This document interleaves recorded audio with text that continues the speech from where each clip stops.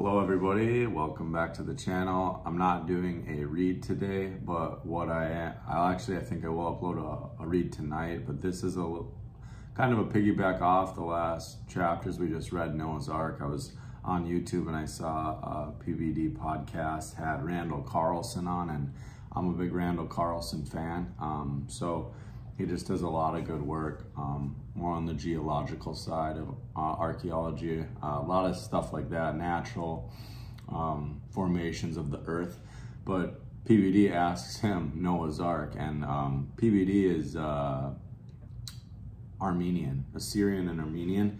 So um, he has interest in this, so I thought it'd be relevant to go through this quick and just put this on um, this channel as well. So let's watch this here. So, so you're talking about the flooding. Let me ask the question about Noah's Ark.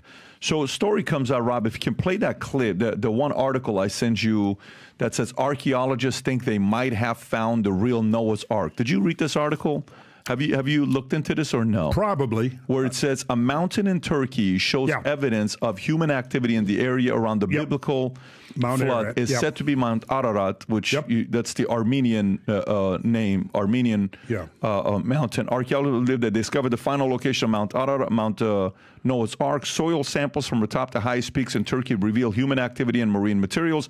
Dating of the rock and soil from the location match with biblical timing of Noah's Ark. Researchers from a trio of University of Turkey, United States, have spent roughly a year analyzing the rock and soil in the famous Durupinar Formation on Mount Ararat, the highest mountain in Turkey. They believe that the boat-shaped site may hold the ruins of the legendary Noah's Ark. The biblical account of Noah tells God instructed Noah to build a giant ark to spare his family and pair of animals from an impending flood meant to destroy the evil and wickedness running rampant on earth. Noah's ark is said to have come to rest on the mountains of Ararat following a 150 day flood about 5,000 years ago. Yeah, Durupinar. Right, there it is. Yeah, I mean, you know, the thing is, is when you look into the, the biblical Hebrew for the description of the ark, it's usually the ark is built of gopher wood. So yeah, I remember just reading that the go- gopher wood. Um, this Randall Carlson's the guy to listen to for the geological side of something like this. which in the Hebrew is Gimel Pei Resh, but it had an alternate alternate meaning. Gimel Pei Resh. You can look that up.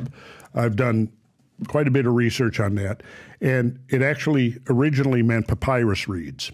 And the earliest known shipbuilding technology techniques were papyrus reeds, and but it was further. They went, you know, the the um, the the co- the uh, the uh, the pitch that was used on the um, on it, I think, was part of the, the whole system that they used. This this would be a whole discussion in itself, uh, Pat. That would be very interesting to get into. Uh, tell me about it. I want to know a little bit about it. I'm, I'm curious myself. I'm Armenian. I'm Assyrian. So Yeah. how, how, so what are we looking at right there? Well, we're looking. That's why I love uh, PBD. Like if Randall Carlson might have said that to somebody else, like this is a whole nother thing. The way he is, he, he's like, well, what is it though? Like he's not going to stop because he's genuinely curious in this. Looking at it, so it's about 430 feet long, Okay. which is not the, you know, the the Hebrew cubit, modern Hebrew cubit, standard cubits uh, uh, up 18 inches, which is where we get to 300, you know, 300 cubits at 18 inches would be what 450 feet. I did look. Uh, I did ask someone to comment uh, back to me what uh, a cubit was. Someone did actually. So thank you so much. And I did some more reading on that also. And I looked up the Greek cubit, Egyptian cubit, and also um, the Hebrew cubit. And the Egyptian and Greek cubit are a little bit longer, like he says.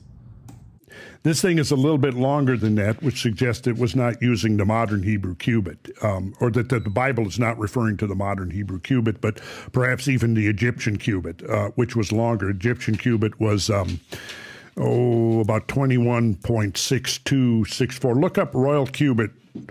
I think it, And I didn't know that. I thought the cubit, the Egyptian cubit, was like 18 inches. So that's the, another older cubit in Egyptian. be about 20.62 inches in length, royal cubit.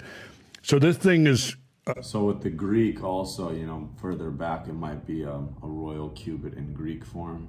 uh, 300 cubits long yeah, there's your common cubit, 18. Yeah, Mm-hmm. royal cubit, 20.64. So that thing that we were just looking at works out to be about 300 cubits if we're using the royal cubit rather than the modern Hebrew cubit, which is a coincidence. Uh, you know, and the, con- the, the, the controversy over that thing, his, his, it's been around for years. 30 or 40 years ago, David Fasold wrote a really interesting book, I think came out in the 70s or early 80s uh, on that site. And, uh, you know, it was a lot of controversy whether it was natural or something not natural. And so I haven't kept up with the research, but this may be, yeah, there he is right there. Now that's that's a drogue stone that he's standing next to, and you see a big stone like mm-hmm, that. Mm-hmm. It's got that hole in it. So if you've got an anchor chain or a rope, it goes through that hole, and you drag it behind the boat, the the the the, the boat, in order to keep the keel aligned parallel with the current. Because if you if you if the keel That's a pretty crazy thing to find. Like from an old ship, a huge anchor. gets out of parallel with the current, then you're going to it's going to swamp. You know, I've done a lot of canoeing, and I knew, you know, on when you're on a fast moving river, you know, you want to keep your keel aligned with the current because as soon as it turns, you know, transverse to the mm-hmm. current, you're going to flip. So the drogue stone is is towed behind the ship, and that keeps the keel aligned. So there are these really big drogue stones that have been found. Now, what ships were they? I don't know, but I think David Fasold was speculating that that some of the big ones may have even been associated with ark-sized ships. And it's bizarre, but if you come over to North America and you look at uh, legends of Native Americans, um, you know, there was giant floods and basically how they survived mostly was a couple of the primary ways they survived these giant floods that swept over the country and, and wiped out their ancestors was either a high mountain, which now would be a sacred mountain, or a great canoe. They was translated as a great canoe. Now that has been um, dismissed by historians and archaeologists, saying that well. Which doesn't mean much, you know, if you follow channels like Debunking or you follow Jimmy Corsetti, you'll find out that like archaeology, they don't like being wrong. So if they painted a narrative one way and then years later they have to be like, well, that was wrong. They don't like doing that. And that's a big problem with all this. They must have learned the story of Noah from missionaries and then they grafted that onto their own religious traditions and so on. But that can be dispelled because we know that that people like George Catlin, who was the Indian artist who, oh gosh, when he, he spent decades and traveled and, and lived amongst dozens and dozens of Indian tribes. And he recorded all of their traditions and their beliefs. Uh, Rob, if you look up George Catlin, C A I T L A N, I believe, Indian artist. He recorded their accounts, and, and I have a great quote from him at the end of his book called Last Rambles. And basically he's saying that he went to all of, yeah, yeah, there's some of his artwork, George Catlin, Catlin, not Caitlin. Um, so at the end of his book, The Last Rambles, he's talking about the, the, the traditions of American Native Americans. And he says that there was such a diversity of language and, and, and symbolism and beliefs and all that, but they all had one thing in common, and that was their belief that there had been this great flood. Now, what I've done is I've shown absolutely we can prove that there were great floods. Um, certainly in North America, but it's showing up the evidence for these gigantic floods is showing up all over the planet. Um, and they're directly related to the the Pleistocene, the uh, extinction of the megafauna. Because when you have a big flood, one of the things it does is it rips up part of the earth in one place and then dumps it somewhere else. Uh, you have erosion and you have deposition. Well, if an animal is caught in a flood and they're not completely ending up getting disarticulated, their remains will then wash down and be found in the flood deposits. Most of the remains, the fossilized remains of megafauna that we find, are in megaflood deposits, in gravel pits, peat bogs, permafrost.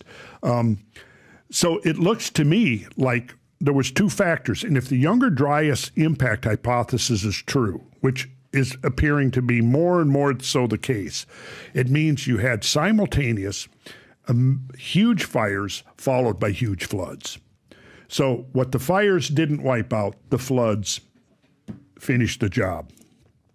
There it is, the Younger Dryas was in a period in Earth's geological history that wow. occurred circa 12,900 to 11,700 years before present. And that's something I did mention, I think the last read or the one before that. Um, you know, the younger Dryas impact, it seems to correlate well with all these different cultures saying a great flood happened. So thought that was pretty relevant with what we're doing on this channel for right now. Um, so again, I would really appreciate if you guys gave a like and subscribe and I will see you later today. Uh, if you watch this one, I'm gonna upload another read. Um, I think it's the start of the rainbow, uh, chapter nine or 10 of Genesis. So uh, thank you guys. I'll see you soon.